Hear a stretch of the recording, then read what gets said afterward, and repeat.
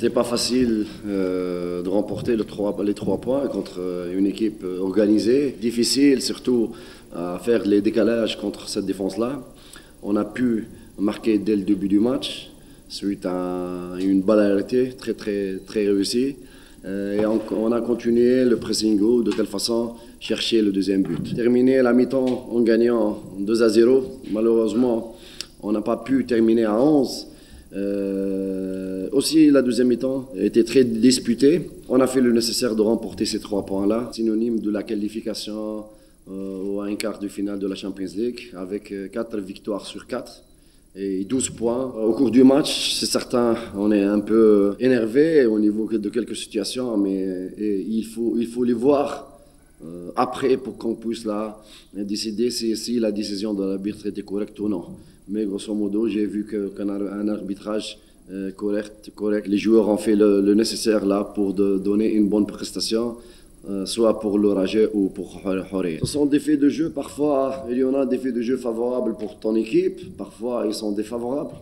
Maintenant, dans une situation, notre attaquant en un contre un avec le gardien, et si le gardien touche la balle avec les mains en dehors de 16 mètres, il y est le deux- deux derniers défenseurs.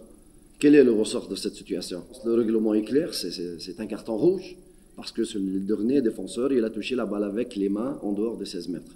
Et nous, à la fin de la mi-temps, on a pris euh, un carton rouge qui est un peu discutable, mais ce sont des décisions euh, de l'arbitre qu'il faut accepter. Maintenant, euh, toutes les équipes se valent. Pour que tu puisses la gagner, il faut que tu, euh, tu travailles. il y a le surpassement, il y a beaucoup de courage, beaucoup d'application pour que tu puisses là ramener les trois points. On a travaillé la semaine, on a mis un schéma tactique en place, certes qui a pu tenir, sauf que nous prenons un but matinal. Euh, je dirais pas par manque de concentration, mais d'inattention. Après euh, ce but, il fallait pousser. Je pense, il faut reconnaître que j'avais un joueur clé au niveau de ma défense qui manquait. Il a été remplacé par euh, Seko Samasekou, c'est vrai qu'il est resté longtemps qu'il ne compétissait pas.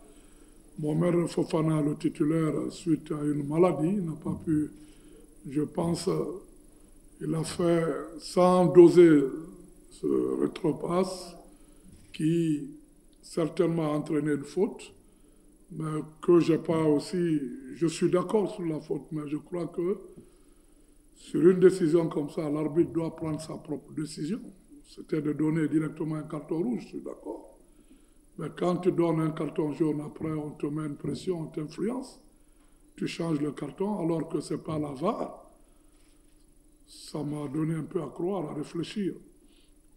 Nous prenons deux buts et je pense que ça a un peu désarmé. Après la deuxième mi-temps, on est revenu, on a tenté, on a imposé un jeu. Contre le cours du jeu, on prend encore un troisième but, mais malgré tout, on s'est créé des occasions, on a cherché, on est allé, on a tenté beaucoup de choses, mais je crois qu'il faut reconnaître que l'adversaire avait beaucoup plus de volonté, avait, c'est vrai, physiquement, avait beaucoup plus de répondants sur ses démarquages, son implication dans le jeu. C'est vrai qu'on avait une très bonne occupation du terrain, mais dans l'exécution, il y avait une lenteur, surtout sur la transition défense-attaque. Et après, on n'a pas été très réaliste devant. Bon, moi, je pense, euh, c'est en Tanzanie, le tout va se jouer, le tout pour tout. Parce que là, c'est ou une victoire ou à la rigueur un match nul pour pouvoir gagner à domicile. Mais je pense qu'on a des arguments. On va, la manière dont on joue aussi, c'est pas par manque de réalisme et puis quelques petites déconcentrations défensives, je crois qu'on a du potentiel. Après, il faut reconnaître que les joueurs de Raja, je l'ai dit, se sont beaucoup plus impliqués à un moment, mais sur le plan d'occupation du terrain, on était vraiment en place et je crois qu'on s'est créé quelques occasions. Ça nous a manqué le réalisme. Je pense si on était en égalité numérique, je ne pense pas que ce résultat pouvait être comme ça. Parce que 2-0 déjà, revenir et tenter beaucoup de choses. À, 9 contre, à 10 contre 10, je pense qu'on avait beaucoup plus le monopole du jeu. Et je pense qu'on a même eu beaucoup plus d'occasions.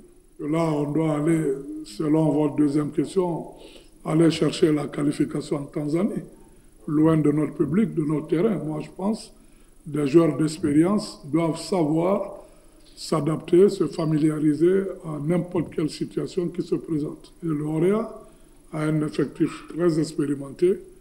Moi, je pense, le public, c'est un fait, mais ça n'a pas influencé sur ce match. Après, en Tanzanie, nos chances, c'est en Tanzanie. Moi, je pense qu'il faut euh, réellement trouver une victoire ou à la rigueur un match nul contre le Simba.